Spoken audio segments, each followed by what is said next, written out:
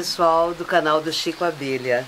Então, meu nome é Soraya Aguilera, eu sou aqui da Morada Terra Viva e cozinho para muitas pessoas, uma média assim de 40 pessoas a cada evento, fim de semana. Então eu tenho algumas receitas que eu, que eu criei e que eu vou passar aqui para vocês. E tá hoje bom? vai ser? Ah, hoje vai ser a farofa de amendoim, que pode ser feita tanto com o- a, a- a farinha de milho como a farinha de mandioca grossa.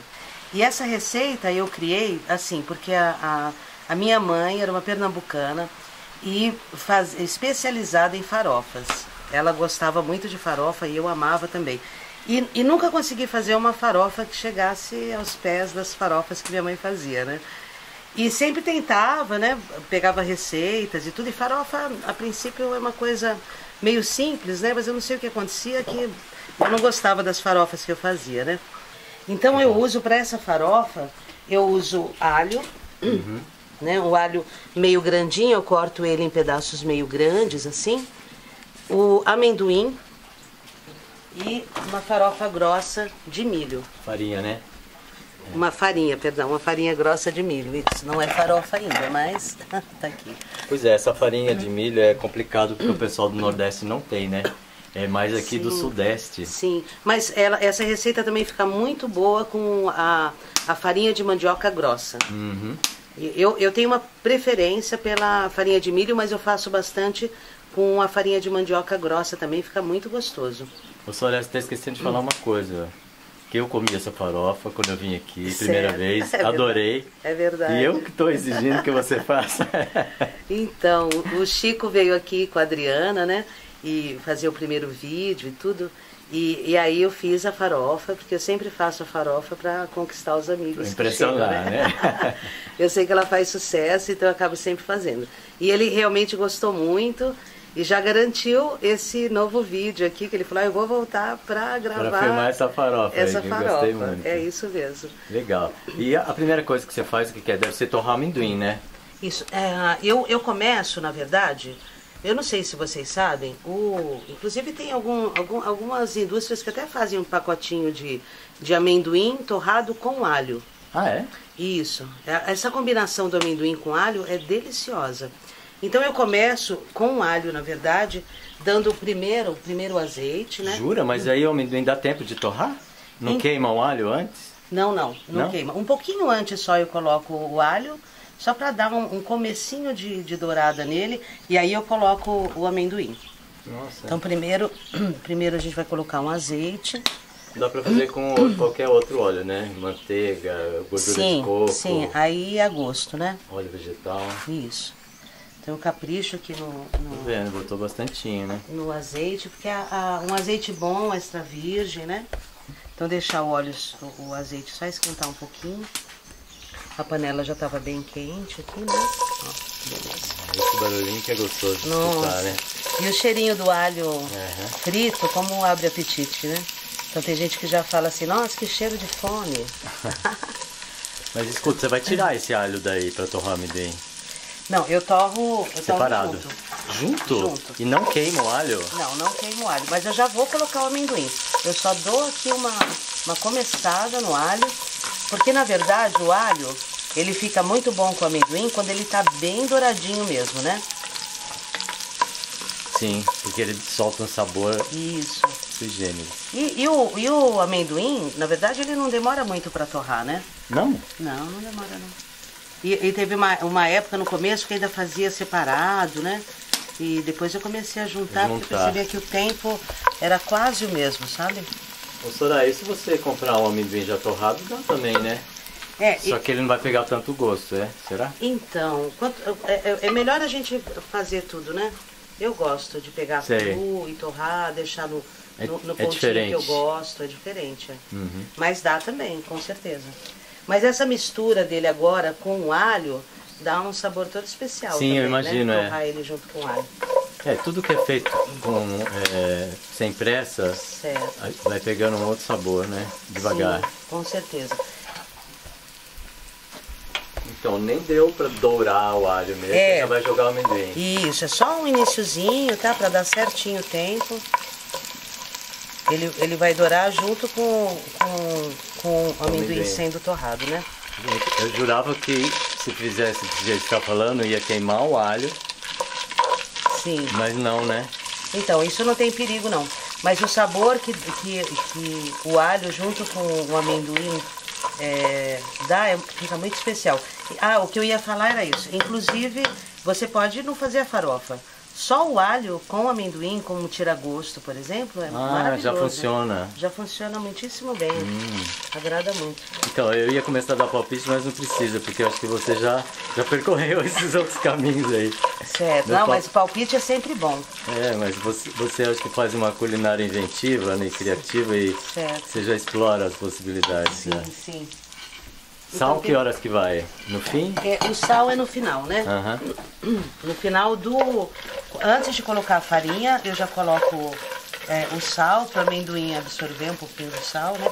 Quando o amendoim tá pronto, tá no ponto torradinho, eu já coloco o, o, o sal, né? Aí depois a farinha. E a farinha, seja ela de milho ou de mandioca, também tem que dar aquela, aquela fritadinha, aquela torradinha na panela, Mas- não é uma mistura. Tá, mas você vai jogar a farinha aí dentro? Ou é Sim. separado? Não, eu jogo aqui dentro. Tá, então ela tem que ter um, um tempo aí de, Sim. de panela, né? É. Quanto tempo você acha que fica aí o amendoim? Chuta mais ou menos, é 10, é 15, é 20? Nossa, eu, eu faço as coisas bem no olho, sabe? Fora do relógio. É, fora do relógio. Mas eu acho que no máximo 10 minutos. Pode deixar que eu tenha um relógio até. interno, eu vou te falar. Ah, ah, que bom. Então é rápido. Tô precisando de alguém que tenha esse relógio interno Ah, para me tenho. ajudar. Foi uma preocupação. Falei, nossa, eu vou fazer um vídeo com, com, com, a minha receita e tudo, né? E, e eu preciso calcular as quantidades, né? Hum. Então, por exemplo, quando eu vou cozinhar para muita gente, então eu faço um, é, um quilo de, é, Amendoim. de farinha, Ah, né? É, um pouquinho menos, talvez uns 800 gramas, mais meio quilo de amendoim e mais umas três cabeças de alho. então é mais ou menos assim, metade de amendoim é, em relação à farinha Isso, isso. peso, né? Isso. E é uma receita é, simples, tranquila, então você pode ir adaptando ao seu gosto também, né? Sim. É, pode jogar o que você quiser aí, né? Uma Certo. cenoura ralada, uva passa, Sim. O cheiro verde. bacon. Assim também. Pode sim. O- a- essa combinação amendoim, é, alho e a farinha, ou de mandioca ou de milho, ela é perfeita. E aí você pode criar. Tem gente que gosta também de colocar uma cebola picada. Eu acabo gostando só com. Só desse jeito, É, né? só com alho. Mas já fiz também muitas vezes com cebola. Já experimentei ela de outras formas, né? Então aí eu tô mostrando mais a receita mais simples, né? Aham. É bom aí, depois a pessoa. Cria tiver- do como ela quiser, né? Isso. Você não tampa, né? Você deixa sempre aberta. É, pra ir mexendo pra não queimar, né? Uhum. Então o amendoim ele queima muito rápido, né? Então tem que estar mexendo sempre. Tem que estar mexendo sempre. Então ele já começa a, a- a grudar. E é uma receita rápida, né? E ela fica muito bonita também. Ah, é? Fica muito bonita, Ah, né? escuta, aí no fim você coloca um cheiro verde? Não. Coloca o cheiro verde que Ah. faltou na nossa mesa. Posso pedir pra minha amiga Pois não. providenciar o cheiro verde? Tá chovendo? Será que ela vai ter que sair na chuva pra buscar? Não, não, tá aqui. Ah, tá aqui dentro. Faltou vir pra mesa. Pode É. pedir. Maiara? Então, gente, é isso. Aqui no sítio a gente tem muitas funções, né? Uma função que é muito importante, a da horta, né? Ontem a gente ficou trabalhando muito na horta, É, tirando mato com essa chuva, né? É, né, no verão cresce muito o mato. né? Cresce muito, então a gente tem que ficar cuidando, né? Dos, dos cachorros, galinhas. ah, uma galinhas não, a Tereza que apareceu há pouco tempo aqui em casa, não sei de onde Adotou veio. vocês, né? Ela nos adotou isso. E farofa, nossa, eu nunca, nunca chegou ninguém aqui que, Que não gostou? que não gostasse de farofa, sabe? Uau. Não, eu não como farofa. Farofa é um, é, agrada a todos os paladares, né? Estou combinada com feijãozinho, com, com arroz, uma saladinha. Tá começando a ficar com cara ou ainda não? Tá longe? Tá, a gente tá na, na, na metade do caminho. Metade. Então deve ser um para mais de 20 minutos, eu acho. Sim. Ele vai soltando a casca, né, Soraya? Então não solta muito não. Isso aí é o alho que tá, então. Isso, é o alho e que o alho tá em pedaços grandes também, né? Mas o, o amendoim não solta não. Ah, e, e isso também é opcional. Eu gosto muito do amendoim com casca. Pode fazer né? sem casca. Pode fazer sem casca também. Ele fica mais bonito, né? Depois da mesa, na farofa. É, porque varia a cor, né? Isso, varia um pouquinho a cor. Ô Soraya, você tá fazendo numa panela de fundo grosso, né? Panela grossa. Isso. Se fizer uma panela fina, dá certo? Dá certo também. Eu faço também. Aliás, a grande maioria das vezes eu faço numa panela fina. Mais fina. Fazer uma pequena quantidade, eu faço nela, nela fina. Aham. Eu gosto também de experimentar para ver se o amendoim tá no ponto, sabe? Porque é muito ruim você fazer uma farofa de amendoim e o amendoim tá meio cru. Uhum. Então é, é importante experimentar. É cru ainda, né? Quase no ponto. Quase no ponto. Uhum. Eu acho que no fogo forte dá um, no máximo uns 20 minutos aí. Isso. É que o, o fogo tava meio baixo a primeira receita, né? É.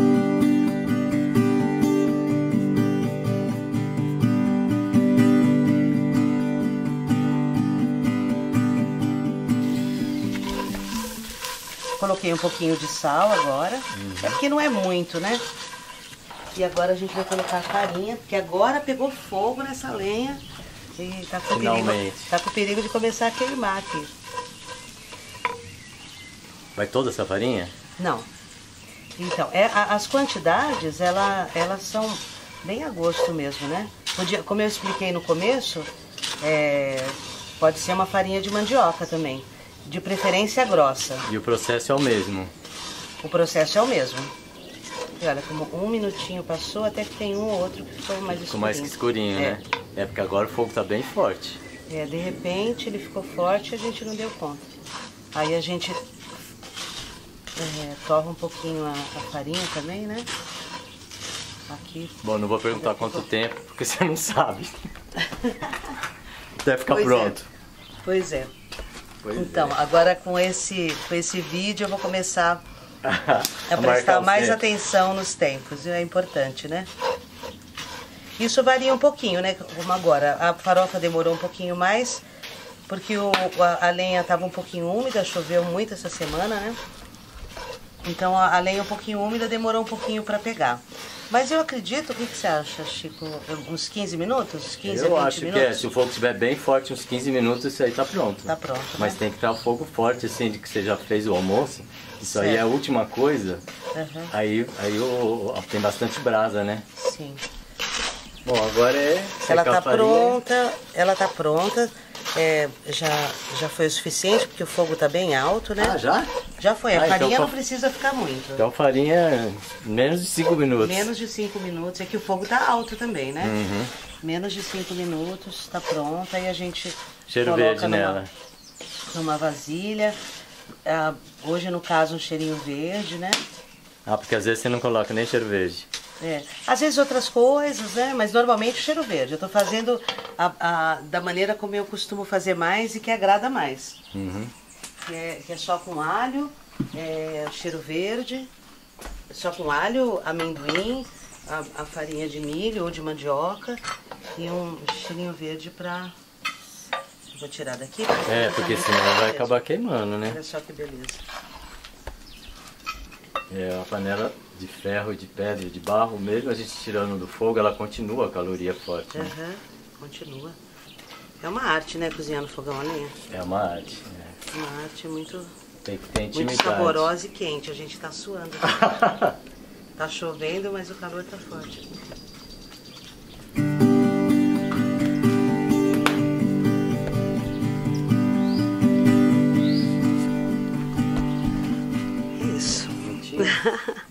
Bom apetite. Essa receita agrada muito. Espero que vocês é, experimentem em casa, criem também, porque criar na cozinha é maravilhoso. É uma receita muito simples, como vocês viram, fácil de fazer e agrada mesmo, viu, gente? Eu faço essa receita há bem mais de um ano e todo mundo que vem aqui pede ela. Só que faltou uma coisa, eu tenho que experimentar, filha. Ah, você tem que experimentar. Lógico, você Nossa, acha com que eu vou ficar só certeza. olhando? Com certeza. Então, eu bota no, no pratinho, No alguma pratinho. coisa? Isso. Você quer segurar um a câmera?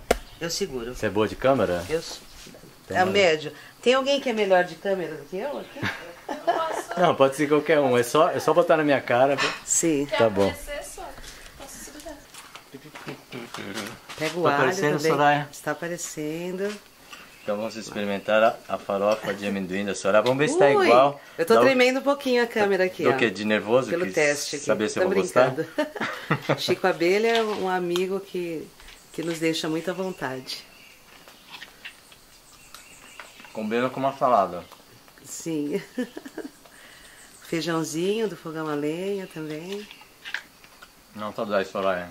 Não queimou o alho Não, você sentiu a crocância do, do amendoim? do, do, do amendoim e do alho? Não, eu senti do alho. Aham, Do amendoim, eu acho que quando o amendoim tá quente ainda, certo. Aí sim, ele, ele não fica Sim. crocante, né? Se, Sim. se esfriar, ele vai ficar crocante. É, eu- você falou uma coisa muito importante que falou ser dita mesmo. A farofa é bom dar uma esfriadinha, Uhum. tá? Ela é melhor não ser comida quente, né? E exatamente por causa disso, porque o amendoim ele fica Aí muito mais saboroso depois de frio, né? Então depois você vai comer ele frio também, tá bom? A farofa fria. Não, depois eu vou comer o próximo receita que você vai fazer, Ai, que maravilha. que vai ser os coberturas, três coberturas de chocolate, gente. Isso, duas são veganas e também, é, enfim, daqui a pouquinho, né? Vocês vão saber. Ah, gente, tá uma delícia. Façam nas suas casas, vocês vão adorar. E olha, a gente vai colocar aqui na descrição do vídeo tudo que acontece aqui no espaço Terra Viva. É, Morada Terra Viva. Morada Terra Viva. Que é um camping holístico. É um campeão holístico que acontece um monte de coisa. Quem tiver curioso, olha aqui embaixo. Tá bom? Até a próxima, gente.